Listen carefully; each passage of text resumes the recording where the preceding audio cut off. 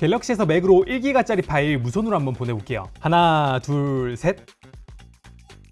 대박, 10초도 안 걸리네. 안녕하세요, 테크몽입니다. 저는 최근에 사무실 setup을 맥으로 바꿨지만 여전히 스마트폰만큼은 뭐 이런저런 이유로 아직까지 갤럭시를 메인으로 쓰고 있어요. 근데 이런 갤럭시하고 맥하고 같이 쓰면 진짜 불편한 게 하나가 있는데 바로 파일을 주고받을 때입니다. 뭐 아이폰이면 그냥 AirDrop 써가지고 이렇게 바로 보내면 되는데 갤럭시는 그게 안 되잖아요. 그래서 뭐 대안이라면 뭐 Send Anywhere나 Android File Transfer나 뭐 이런저런 기능들이 있는데 그걸 좀 써보시면 매번 키 입력하기도 되게 번거롭고요. 속도도 되게 느리고 안정성도 떨어지고 그래서 사실 진짜 마땅한 방법이 없다라고 생각이 들었거든요. 근데 근데 제가 엄청난 방법을 알아냈어요. 안드로이드에서 맥으로 파일 1기가짜리 보내는데 10초면 됩니다. 그것도 무선으로요. 그래서 제가 지금부터 안드로이드 스마트폰에서 맥으로 혹은 양방향으로 파일을 주고받는 방법을 알려드릴 건데 가장 먼저 설명드릴 거는 Nearby Share 맥에서 쓰는 방법이에요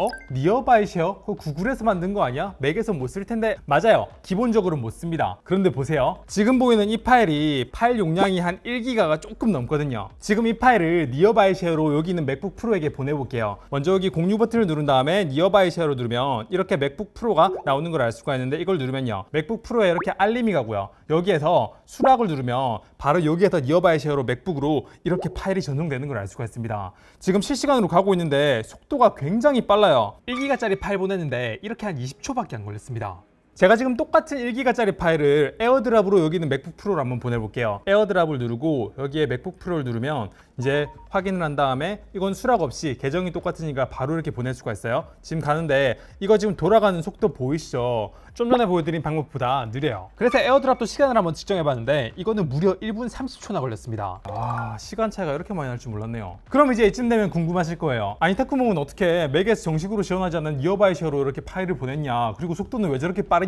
제가 맥에 설치한 앱은 개인 개발자가 개발한 앱으로 앱의 이름은 NearDrop입니다. Nearby Share랑 AirDrop이랑 이름을 좀 합쳐놓은 것 같죠? 이걸 다운받으시려면 일단 구글에 이렇게 NearDrop이라고 치면요. 여기 두 번째 이 사이트가 있는데 최신 버전을 이렇게 zip 파일을 다운받습니다. 그러면 여기 NearDrop이 보이는데 이걸 두 번 누르면요. 아마 이런 식으로 실행이 안 될 거예요. 마우스 오른쪽 버튼을 누르면 따로 열기를 할 수가 있거든요. 이걸 하게 되면 이렇게 실제로 열 건지 물어보고 열기를 누르면 이제 여기 Nearby Share 아이콘이 뜹니다. 근데 이게 알림을 처음에 계속 울리게 할 건지를 묻는데 이거는 반드시 이렇게 알림을 허용을 해야 돼요. 그래야지 좀 전에 보여드렸던 Nearby Share로 파일을 보냈을 때 수락 버튼을 누를 수가 있거든요. 그럼 여기서 왠지 GitHub라는 사이트가 왠지 좀 이상한 사이트 같고 아 왠지 저거 받으면 뭔가 보안에 문제가 생길 것 같아 라는 생각이 들 수도 있어요. 그래서 뭐 결론부터 말씀드리면 제가 그 보안을 보증드릴 수는 없는데요. 그럼에도 제가 이 앱을 이번 영상에서 소개해드린 이유는 이 앱을 만든 개발자에 대한 정보가 이렇게 다 공개가 되어 되어 있고 이 소스도 다 공개가 되어 있기 때문에 이 정도면은 제 채널에서 좀 소개시켜 드려도 되겠다라는 생각이 들어서 이렇게 소개시켜 드리는 거예요. 물론 이제 이 Nearby Share의 맥 버전 NearDrop이 구글에서 만든 정식 Nearby Share가 아니다 보니까 정식 Nearby Share하고 비교했을 때 몇몇 기능 제한은 있긴 해요. 예를 들면 갤럭시 폰에서 맥으로 이렇게 Nearby Share로 파일을 보내는 건 되는데 맥에서 갤럭시로 Nearby Share로 파일을 보내는 건 안 되고요. 그리고 두 기기는 같은 와이파이에 연결되어 있을 때만 작동하고 그때 속도는 와이파이 자체 그러니까 공유기 내부망 속도에 영향을 받고요 그래서 좀 빠른 와이파이 공유기에 연결하거나 공유기하고 위치가 가까우면 이렇게 1기가 파일을 보내는데 10초도 안 걸릴 수도 있습니다. 그리고 Nearby Share를 이용해서 갤럭시에서 여기로 파일을 보내려면 맥에선 NearDrop을 매번 실행시켜서 켜줘야 됩니다. 이게 한 번 실행한다고 계속 켜져 있는 게 아니라 보안 문제로 주기적으로 꺼지더라고요. 그리고 간혹 주변에 있는 내 기기를 못 찾을 때도 있어서 사실 이 NearDrop은 지금 가장 추천드릴 수 있는 방법은 아니에요.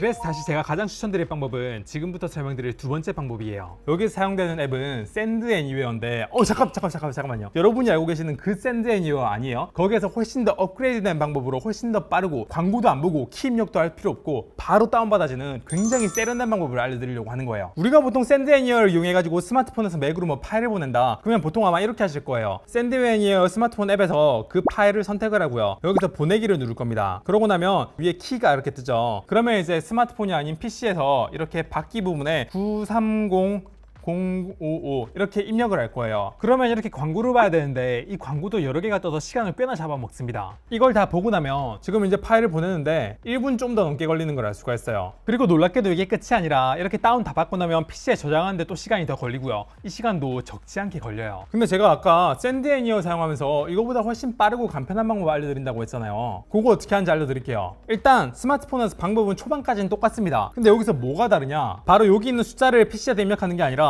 밑에 있는 주변 기기 찾기를 눌러요 그러면 주변에 같은 와이파이에 연결되어 있으면서 Send Anywhere 앱이 설치되어 있는 PC가 여기 이렇게 뜨거든요. 여기에서 제 테크몽 맥북 프로 16 이걸 누르면요. 여기에서 여기로 파일을 바로 전송하는데 여기에서 동의 누를 필요도 없고요. 거의 30초 조금 안 걸리는 상태에서 파일이 다 가는 걸 알 수가 있습니다. 근데 아쉬운 점은 이렇게 해도 결국 PC에서 한 번 더 받아줘야 되는 시간이 있어서 이것도 그렇게 좋은 방법 같아 보이진 않거든요. 근데 이것도 해결할 수 있는 방법이 있어요. 바로 Send Anywhere에서 똑같은 계정으로 로그인을 해놓고 방금 보여드렸던 과정을 그대로 하면 돼요. 그래서 둘 다 같은 계정으로 로그인을 하고 스톱워치로 1기가 파일을 보내는데 걸리는 시간을 측정해봤어요. 처음엔 속도가 좀 느린 것 같았는데 맥에서 자동 다운로드가 시작되면서 갑자기 속도가 엄청 빨라지더니 1기가 파일을 다 받는데 걸리는 총 시간은 이렇게 약 15초밖에 안 걸린 걸 알 수가 있습니다. 파일을 실행시킬 수 있게 이렇게 떴어요. 진짜 빠르지 않나요? 그래서 저같이 집에서 맥하고 스마트폰이랑 파일을 주고받을 거면 AirDrop보다 이 방법이 훨씬 빠르고 나을 수도 있어요. 게다가 방금 보여드린 Send Anywhere를 응용해가지고 만든 이 기능은 앞서 보여드린 NearDrop과는 다르게 파일을 양방향으로 주고받을 수도 있고요. 가끔씩 NearDrop은 내 기기를 못 찾아서 여러 번 시도해서 겨우 찾아질 때가 있는데 Send Anywhere는 그런 문제도 없어서 신뢰도가 굉장히 높아요.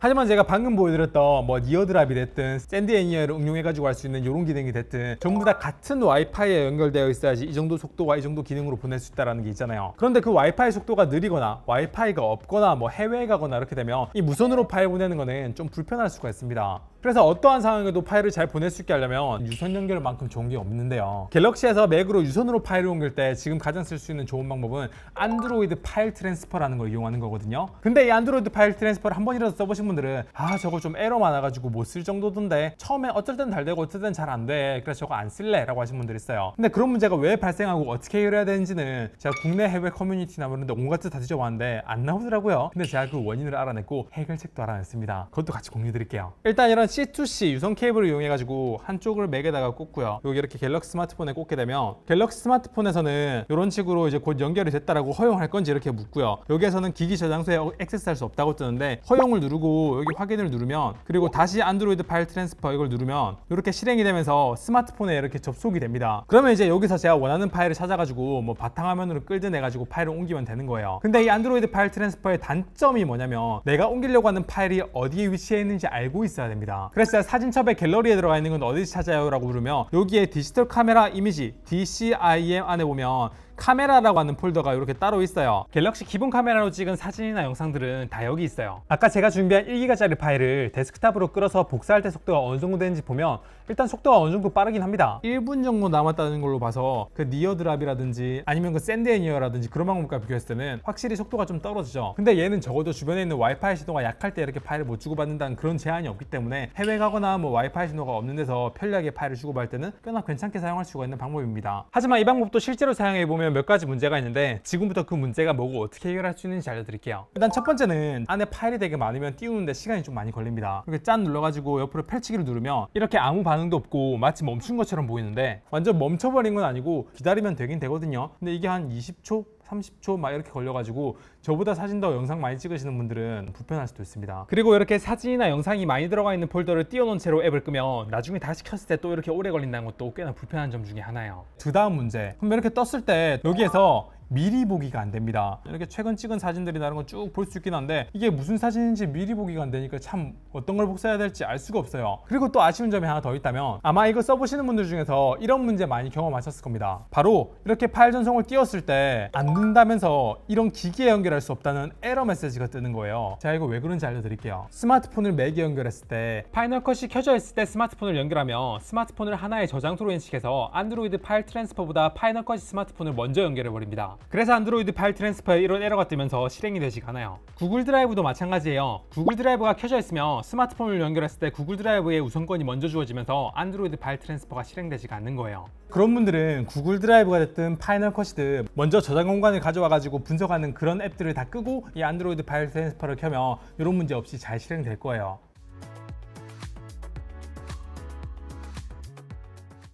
자 여기까지가 제가 준비한 갤럭시에서 맥으로 파일 편리하게 주고받는 방법이었어요. 저 같은 경우에는 같은 와이파이에 연결되어 있고 제 계정끼리 로그인되어 있는 기기끼리는 Send Anywhere로 파일을 보내게 될 것 같고요. 그리고 제 PC가 아닌 뭐 저희 직원 PC에다가 이렇게 파일을 보낼 때는 NearDrop으로 파일을 보낼 것 같습니다. 아까 1기가 보내는데 10초 정도 걸리는 거 봤죠? 그리고 제가 만약에 와이파이가 안 되는 환경에서 파일을 주고받을 거라면 방금 보여드린 Android File Transfer로 파일을 보낼 것 같아요. 근데 확실히 이렇게 경우의 수를 따져가면서 어떤 게 최적인지 생각해야 된다는 것 자체부터 AirDrop과 비교했을 때 편의성이 좀 떨어지긴 하죠. 하지만 저처럼 갤럭시에 몇몇 기능이 꼭 필요해가지고 갤럭시를 쓰지만 맥하고 이렇게 같이 써야 되는 분들이다. 그런 분들한테 이 영상을 진짜 유용할 거라고 생각하고요. 여기서 좀 더 응용하게 되면 같은 와이파이 연결되어 있다면 뭐 FTP 서버를 이용한다든지 아니면 저처럼 시놀로지 같은 걸 이용하고 있으면 또 주고받을 수 있는 게 있어요. 근데 이건 그렇게 대중적인 방법이 아니니까 이번 영상에선 제가 앞에서 말씀드린 방법이 굉장히 많은 분들에게 도움이 될 거라고 생각합니다. 그럼 이번 영상은 여기까지 하고요. 영상 괜찮았으면 구독, 좋아요 부탁드립니다. 감사합니다. 테크몽이었습니다